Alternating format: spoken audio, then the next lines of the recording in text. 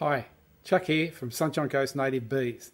Just got a little video for you to have a look at, see what you think, see if it works, um, but it's a whole lot of fun doing it. So let's get into it right now. Question is, why am I mucking around with terracotta clay when I'm really into bees and stuff? The answer is, I'm still into bees and making a native beehive or a solitary beehive and packing the middle of it out with terracotta clay. Because the one thing I know that these this terracotta clay um, native beehive will do is uh, attract blue banded bees.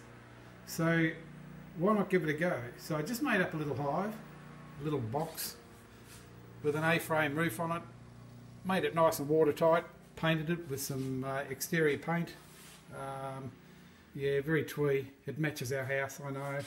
Okay, uh, we'll get over that. Um, but then, once you load it up with clay, you use a pencil, just a normal pencil. Uh, this one here. And I put a bit of tape on it um, to about uh, seven millimeters deep. And uh, then you've got a guide. All you're doing then is just going through and finding a spot, make it nice and even, or I make it nice and even, maybe that's the ADD in me coming out, and just push it in to that.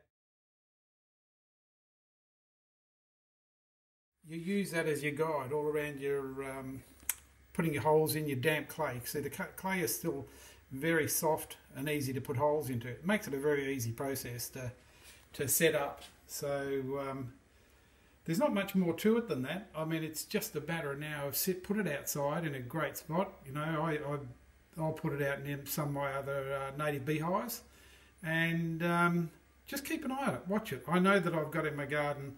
I've already got lots of leafcutter bees. I know I've also got some firetail resin bees, um, but I'd like to see some um, blue banded bees and just what else. Can be attracted to this hive. So it's, it's really a bit of fun. So uh, anyway, just thought I'd pass it on. Good bit of information. Um, simple, easy thing to make up.